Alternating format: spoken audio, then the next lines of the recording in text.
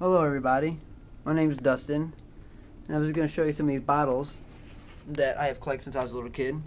Um, I stopped collecting them once I got into high school, which I really should keep collecting them, but I'm going to show you some. Um, tell me what you think, if you think they're a good collector's item, if they're worth money, uh, or what you think, or if there's any other people out there interested in old bottles. Here, let me know, tell me what you think.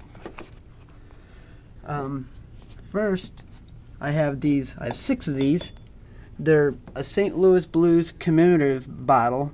I'm guessing they came out somewhere in 73, 74 because the last date on here is 73. It goes from 68, 69, 70, 71, 72, and 73. And it gives the whole Stanley Cup record. Um, it says it's a deposit bottle on it. And it's a 16 ounce, I guess one pint.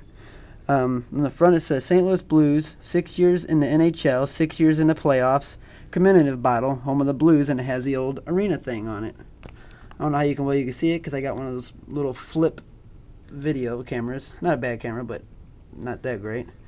This is Pepsi Cola, as you can see. There's all the dates. I have six of these things. Five of them I found in a basement in a box, empty. But I found the sixth one in a flooded out basement from a flood house in Valley Park, Missouri in 1993 that still has soda in it and has a sealed cap. I got another bottle here that is a, looks like an old ketchup bottle. On the bottom it says Brooks. I'm not exactly sure what that means, but it says Tangiest, T-A-N-G-Y dot E-S-T and that's what it looks like right there okay that's nothing this is an old corker bottle it's kind of damaged some of the peelings off of it this here is an old 7 up bottle probably hard to see see if you see anything but anyway I really ain't got no dates or nothing on the bottom of it. I wish I had some better light. I do in the kitchen, but I'm not going to bring all my bottles in here. On the bottom of this, it says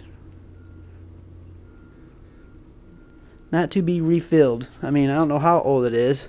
Yeah, it says no refills on top, but it could just be one of those littler bottles that they didn't refill. And of course, your normal uh, 10 ounce old Pepsi bottles. They're probably pretty common.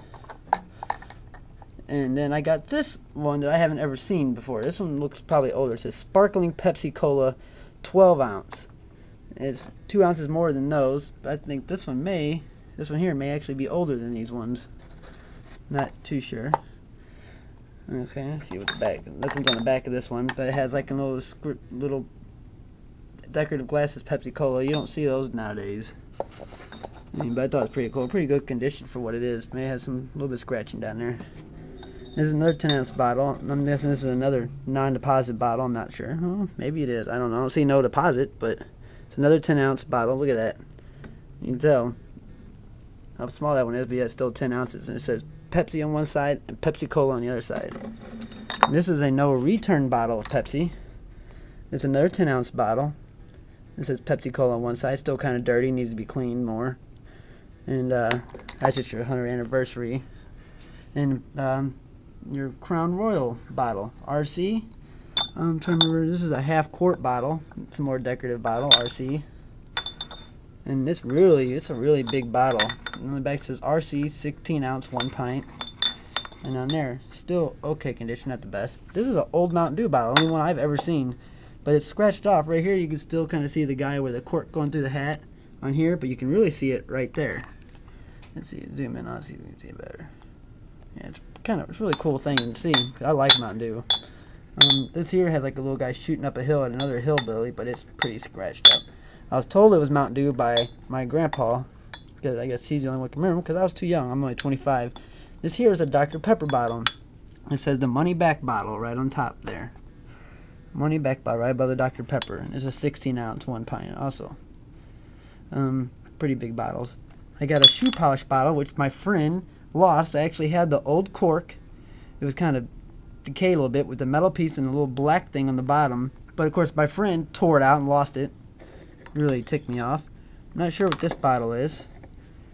Um, or this bottle. I guess this is some type of perfume bottle. Kind of weird shape. You know, you know they're old when they're weird shaped and heavy. Okay, and this is something that I've had quite a few people interested in. It's a Pure X bottle.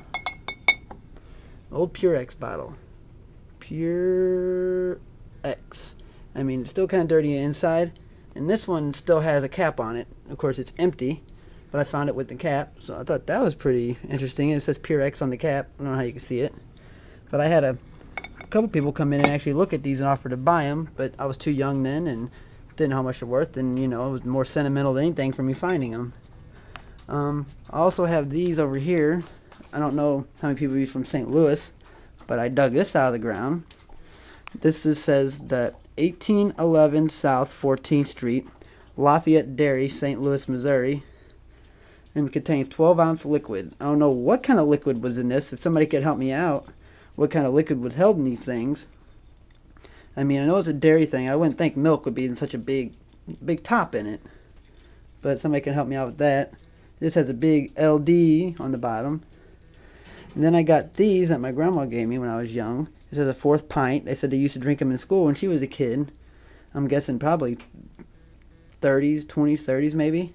It says sealed right here. And it says wash and return liquid. I'm not sure. That's, I'm, I'm guessing that's probably St. Louis Dairy where it came from because where it's where I'm from, St. Louis. I'm still in St. Louis. This is another one quarter pint. It has an S on it, and this one says St. Louis Dairy Co. It says 152 on the side.